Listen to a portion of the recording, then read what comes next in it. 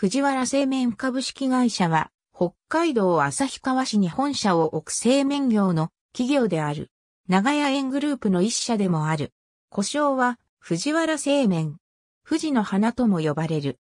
北海道を代表する旭川市のご当地ラーメン、旭川ラーメンの藤原として全国のラーメンファンにも親しまれている。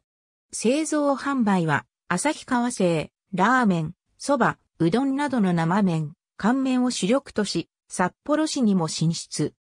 旭川市、札幌市など多くの北海道内のラーメン店で採用されているほか、北海道内のコンビニエンスストアの弁当の麺類、旭川市内近郊の学校給食用の麺類にも採用されている。新千歳空港など空港の売店、JR 北海道の売店デパート、土産物店などでは贈答用。スーパーマーケット、生鮮ディスカウントストアなどでは一般家庭用として販売されている。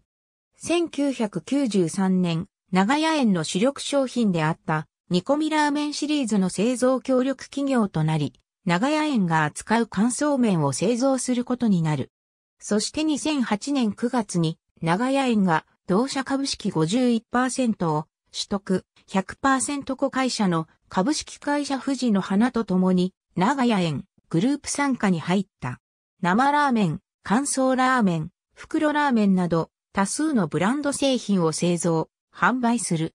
詳しくはこちらの商品リストを参照乾麺ほろかないそばなど多数。ありがとうございます。